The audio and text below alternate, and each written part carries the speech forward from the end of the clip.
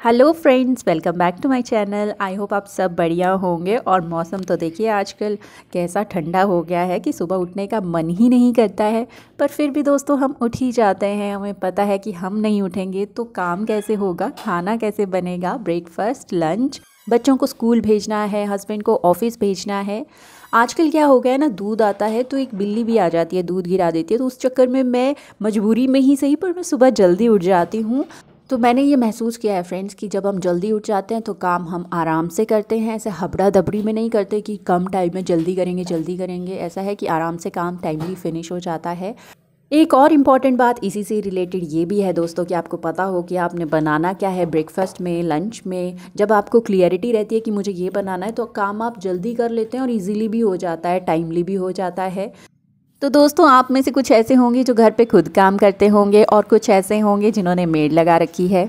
तो दोस्तों, हमारे घर पे भी मेड आती है और झाड़ू पोछा बर्तन करती है। देखिए, पोछा जो होता है, वो कहीं भी, कैसे भी सूखने डाल के, झाड़ू कहीं भी लगा के, फेंक के चली जाती है। ऑब्वियसली वो भी ऐसे ही रखेगी क्योंकि कोई प्रॉपर प्लेस नहीं है। तो वही है, जब किसी भी चीज़ के लिए प्रॉपर प्लेस नहीं होता तो आप कहीं ना कहीं रख देते हैं। वो भी रख देगी, मैं भी रख दूँगी। तो आज मैंने सोचा, इस बालकनी को थोड़ा सा क्लीन करूँगी और इन झाड़ू और मॉप्स के लिए एक अच्छी सी प्रॉपर जगह बनाऊँगी। तो दोस्तों, ये बहुत ज़्यादा ज़रूरी है कि अपने टाइम के अकॉर्डिंग आप काम देखें। अगर आपके पास टाइम है तो आप बड़ा काम पकड़ सकते हैं। अभी देखिए, सुबह मेरे पास एक से डेढ़ घंटे का टाइम कई बार होता है तो मैं कई बड़े बड़े काम पकड़ लेती हूँ। जैसे इस बालकनी की थोड़ी सी मेंटेनेंस भी करनी थी नेट छूट रही है बर्ड्स अंदर आते हैं और मेरे पास एक पुराना हैंगर पड़ा हुआ था। तो जब आप रेंट पर रहते हैं तो आप कुछ ज़्यादा पक्का वाला काम नहीं करते हैं। ऐसे हल्का फुल्का काम कर लेते हैं कि जब आप यहाँ से निकलेंगे तो सब कुछ समेट के निकलना ईजी हो। तो ये देखिए, अच्छे से हो गया है आज के लिए और आगे के लिए ऑर्गेनाइज, झाड़ू, पोछा सब और ये पुराना सा कर्टन लगा हुआ था। सामने बिल्डिंग है, बिल्कुल अंदर तक दिखाई देता है, इसलिए यहाँ कुछ ना कुछ लगाना ज़रूरी है। तो ये प्लांट्स के लिए मैंने लिया हुआ था तो मैंने यहाँ लगा दिया है वाटर प्रूफ है मतलब प्लास्टिक का है तो ज़्यादा बारिश से इसको फ़र्क भी नहीं पड़ेगा। अब ऊपर की सफ़ाई होगी है। तो नीचे भी लगे हाथ साफ़ कर लेते हैं, वैसे ये साफ़ ही है, क्योंकि मैं टाइम टू टाइम इसको हटा के साफ़ करती रहती हूँ। तो लगे हाथ मैंने एक ऑर्गेनाइज़र भी मंगवाया है बालकनी के लिए ताकि इसमें वॉशिंग पाउडर वगैरह रख सकूँ। अब यहाँ मशीन के पास रहते हैं तो सामने से उठाया और यूज़ कर लिया। जल्दी भी हो जाता है काम। तो फ्रेंड्स आज का एक डेढ़ घंटे का काम मेरा हो गया है। ज़्यादा आप किसी भी काम को पकड़ के ना रखें, सारे दिन के लिए खींच के ना चलें। टाइमली ख़त्म कर लें तो ठीक रहता है। काम होना ज़रूरी होता है परफेक्ट होना ज़रूरी नहीं होता है। तो दोस्तों, वही है कि अपने टाइम को देख के अपना काम चूज़ कीजिए। कई बार हमारा टाइम कहीं और चीज़ में लगना बहुत ज़रूरी होता है, पर हम काम ही करते रह जाते हैं। तो थोड़ा अपनी तरफ़ भी ध्यान दीजिए कि आपको भी टाइम की ज़रूरत होती है। और हर एक काम को स्मार्टली करना बहुत ज़्यादा ज़रूरी हो गया है आजकल। अब ये चिमनीज़ के फ़िल्टर्स थे, ये बहुत ही गंदे हो गए थे तो मैंने, अब मैं सुबह करने लगती, इनको तो टाइम लगता तो मैंने रात को इनको भिगो के रख दिया तो सुबह एकदम ऑयल इनका निकल गया और एकदम चमक गई हैं, देखिए। तो दोस्तों, ये काम होते हैं, करने पड़ते हैं और ये प्रेशर ही बिल्ड करते हैं कि हमें करना था, आज भी नहीं किया, कल भी नहीं किया। तो थोड़ा सा यू नो अपने टाइम के हिसाब से, अपनी सहूलियत के हिसाब से सब मैनेज करना बहुत ज़्यादा ज़रूरी होता है। और ये टाइम के साथ ऐसा नहीं है, मुझे पहले से ही आता है, हम होम मेकर्स भी धीरे धीरे गलतियाँ करके सीखते हैं। और कोई भी परफेक्ट नहीं बनता है, सारी ज़िंदगी चला ही रहता है काम। और देखिए, अगर छोटे छोटे बच्चे होते हैं घर पे, जैसे ही आप काम ख़त्म करते हैं, एक नया काम आपके लिए तैयार करके बैठे होते हैं।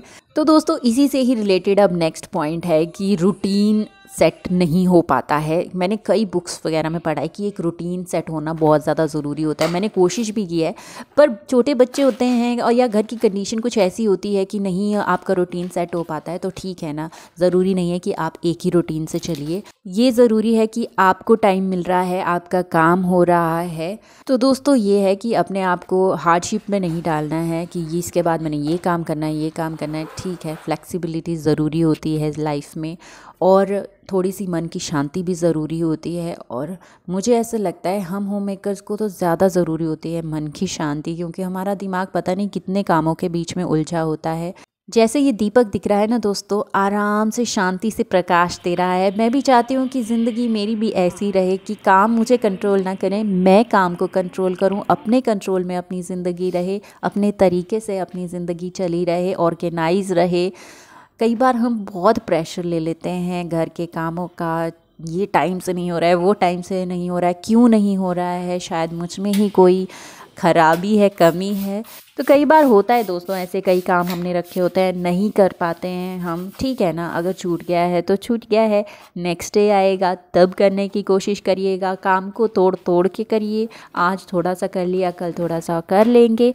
और दोस्तों, कुछ काम तो ऐसे होते हैं जो हम करना पसंद ही नहीं करते हैं, पर वही है, मजबूरी है, करनी पड़ती है। जैसे मुझे ये कपड़े फोल्ड करने का काम बिल्कुल भी पसंद नहीं है तो मैं ऐसा करती हूँ, इसको तोड़ तोड़ के ही करती हूँ। कई बार बच्चों को पढ़ा रही होती हूँ तो साथ में थोड़े से कपड़े फोल्ड कर देती हूँ बीच बीच में याद आ जाती है, तब फोल्ड कर देती हूँ।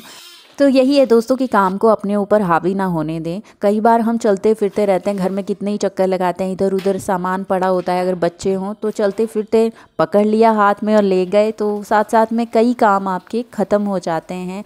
कई काम हमारे पेंडिंग रहते हैं, जैसे मुझे मैट्स धोनी थी, पौधों को खाद देनी थी तो मैंने मैट्स भिगो दी हैं, तब तक पौधों को खाद दे दूँगी और किचन के टाल्स मशीन में धुल रहे हैं तो ये छोटे छोटे काम होते हैं ना इकट्ठे इकट्ठे हो जाते हैं। और हमें भी अच्छा फ़ील होता है। ऐसा लगता है कि सब काम जल्दी जल्दी हो गए हैं और हमारे पास टाइम रहता है अपने लिए, अपने बच्चों के लिए और कई ऐसी सिचुएशंस होती हैं दोस्तों की जो आपके कंट्रोल में नहीं होती हैं। अभी देखिए बच्चा आ गया है मेरा वापस। अब बुक्स टॉयज सब नीचे गिरने वाले हैं।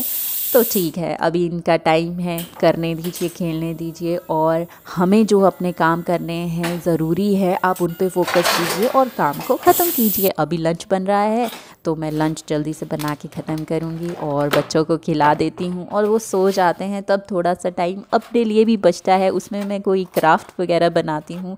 और आज मैंने सोचा है कि कुछ मैं अपने आप को, अपनी बेटी को मोटिवेट करने के लिए क्राफ्ट बनाऊँगी। तो सिंपल सा कार्डबोर्ड लिया है और उस पर अलग अलग रंग कर दिए हैं। जो भी आपको पसंद है, आप वैसे वैसे रंग कर सकते हैं। मुझे बहुत अच्छा लगता है कलर्स के साथ कुछ ना कुछ करना। अब मैं कुछ अच्छी अच्छी वर्डिंग्स लिख रही हूँ, जैसे फोकस कीप गोइंग वगैरह वगैरह। तो इनको देख के कुछ होता है, अंदर से फील होता है कि यार, नहीं, सच में हमें चलते रहना चाहिए, अपने आप पे बिलीव करते रहना चाहिए। तो यही है दोस्तों, मैं भी चाहती हूँ कि मेरी बेटी भी इनको देखे और थोड़ा सा अपनी पढ़ाई पे ज़्यादा फोकस करे। एनीवेज़ तो कार्डबोर्ड्स वगैरह घर पे पड़े ही रहते हैं आपके, आप कुछ ना कुछ ऐसे बना ही सकते हैं। ऐसा नहीं बनाया तो कुछ और जैसा बना दिया, अगर आपको भी शौक़ है तो। अभी ये ऑलमोस्ट कंप्लीट हो गया है, इसके बॉर्डर को हम ब्लैक कर देंगे। ब्लैक जब लगाते हैं तो ऐसा फील आता है कि ये सच में ही फ्रेम यूज़ कर रहे हैं हम। तो देखिए फाइनली कुछ इस तरह से बन के आया है।